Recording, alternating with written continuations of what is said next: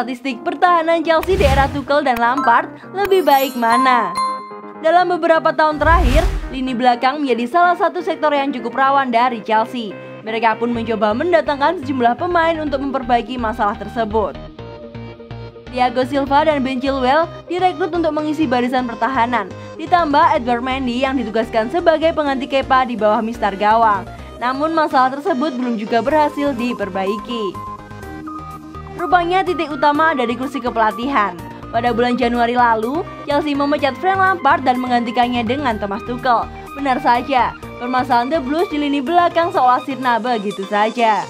Kecuali saat menghadapi West Brom. Chelsea hanya kebobolan sebanyak tiga kali saat di pentas Premier League sejak Tuchel mengambil alih. Bahkan, The Blues belum pernah kebobolan sama sekali di pentas Premier League sejak kedatangannya. Perbedaan Chelsea pada era kepelatihan Frank Lampard dan Thomas Tuchel, khususnya di lini pertahanan, dijelaskan secara rinci oleh Planet Football. Thomas Tuchel melakukan pertandingan sebanyak 18 kali, sedangkan Frank Lampard sudah memimpin pertandingan sebanyak 29 kali. Namun Thomas Tuchel baru kebobolan 9 kali dan Frank Lampard sudah kebobolan 27 kali. Rata-rata kebobolan berlaga pada masa Tuchel sekitar 0,5 dengan clean set 72%. Sedangkan pada masa Lampard, rata-rata kebobolan masuk di angka 0,93 dengan jumlah clean set sebesar 44%. Statistik di atas mungkin akan mengejutkan kalau hanya melihat dari aspek clean setnya saja. Namun secara keseluruhan, The Blues mengalami peningkatan yang cukup signifikan di sektor pertahanannya. Bisa jadi ini disebabkan oleh format yang dibawa oleh Tuchel. Beberapa orang mengklaim bahwa penggunaan 3 back memang memberikan garansi pertahanan lebih kuat ketimbang memakai empat orang. Saat menggunakan 4 back, dua yang berada di sisi lapangan umumnya kerap melakukan overlap untuk membantu lini serang dan meninggalkan dua back yang tersisa di jantung pertahanan. Sementara dalam formasi 3 back, ketiga pemain tersebut akan fokus ke pertahanannya saja. Sekarang, perhatian utama The Blues di sektor tersebut adalah mencari pengganti Thiago Silva yang sudah menua.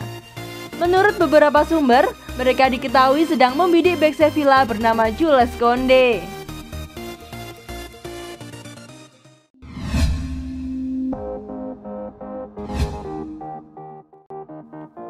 Pertemuan darurat Tuchel, C, dan Granovskaya soal transfer. Apa yang dibahas? Manajer Chelsea, Thomas Tuchel telah mengadakan pertemuan darurat dengan Peter Cech dan Marina. Pertemuan itu digelar untuk menyusun rencana di bursa transfer musim depan. Tuchel menunjukkan hasil yang impresif sejak menjadi manajer Chelsea. Sukses melaju ke babak semifinal Liga Champions dan Piala FA membuatnya mendapat banyak pujian dari direksi klub. Di sisi lain, Tuchel juga telah mengantongi dukungan dari Roman Abramovich. Sang bos telah menjanjikan dana besar bagi Tuchel untuk belanja pemain baru di awal musim 2021-2022. Dikutip dari Express, Tuchel telah mengadakan pertemuan khusus dengan Granovskaya dan Cech. Dua orang inilah yang paling bertanggung jawab atas manuver The Blues di bursa transfer. Kepada Granovskaya dan Cech, Tuchel mengaku puas dengan skuad yang dimiliki. Namun ex pelatih PSG itu berharap bisa melakukan perubahan komposisi di lini depan. Tuchel sudah menyusun beberapa rencana dan disampaikan pada pertemuan itu. Tuchel disebut siap melepas Tammy Abraham dan Oliver Giroud yang dinilai tidak bermain sesuai harapan. Giroud kontraknya akan habis pada Juni 2021 nanti, sedangkan Abraham tidak ada dalam rencana Tuchel musim depan.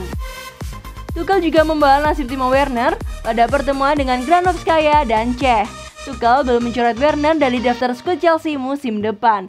Dia masih memberikan waktu bagi ex pemain RB Leipzig untuk membuktikan kualitasnya hingga musim 2020-2021 berakhir.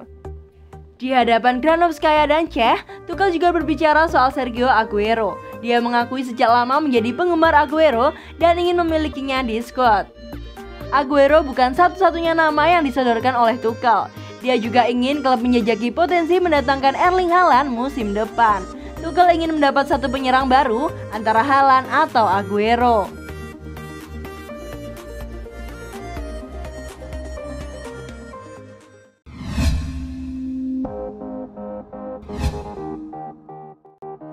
Dibanding Werner, Tuchel disarankan untuk mulai mainkan Hakim Ziyech.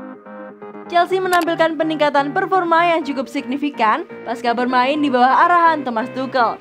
Dari 18 pertandingan yang sudah dimainkan, mereka baru menelan dua kekalahan. Bukan hanya itu, Mason Mount dan kawan-kawan juga sudah memastikan satu tempat di babak semifinal Piala FA dan Liga Champions. Keputusan The Blues menunjuk Tuchel bukan hanya diharapkan bisa meningkatkan performa tim. Pelatih berusia 47 tahun itu juga memiliki tugas untuk meningkatkan ketajaman dua pemain asal Jerman yang bergabung di musim panas 2020 lalu, Kai Havertz dan Timo Werner. Jika Havertz sudah mulai menunjukkan bentuk performa terbaiknya, hal berbeda dialami Timo Werner. Pemain asal Jerman tersebut baru mencetak satu gol pasca dilatih Tuchel, yakni saat The Blues menang 2-0 kontra Newcastle United 16 Februari silam. Situasi ini pun mengundang komentar dari berbagai pihak, tak terkecuali mantan pemain timnas Belanda Rafael van der Vaart. Pria yang sempat membela Tottenham Hotspur itu menilai Tuchel sudah harus menurunkan Hakim Ziyech ketimbang Timo Werner. Ziyech selalu bisa memberikan umpan-umpan yang bagus untuk para penyerang, Oliver Giroud memerlukan pemain seperti itu. Mason Mount bermain dengan cara yang hampir sama. Ya, Timo Werner memang memiliki pergerakan yang sangat cepat dan mungkin merupakan opsi yang bagus jika Chelsea sedang berada dalam tekanan. Tetapi yang dia lakukan hanyalah menunduk dan berlari. Akhirnya hal tersebut tidak menghasilkan apa pun, ujar Rafael van der Vaart. Hakim Ziyech saat ini sudah mulai masuk dalam skema permainan Thomas Tuchel. Pemain asal Maroko tersebut juga berhasil mencetak gol-gol penting, termasuk di antaranya saat The Blues mengalahkan Atletico Madrid di babak 16 besar Liga Champions dan satu gol kontra Sheffield United di perempat final Piala FA.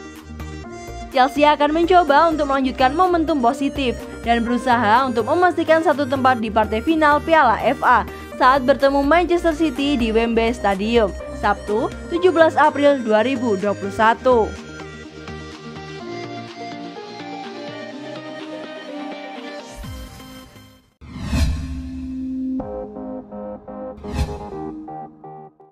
Chelsea gabung Manchester United dan Tottenham buru back pinjaman Fulham ini.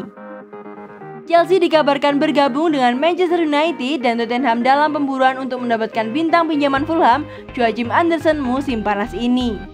Cuaci menikmati waktu yang mengesankan sejak bergabung dengan Fulham musim panas lalu dengan status pinjaman dari raksasa League One Lyon.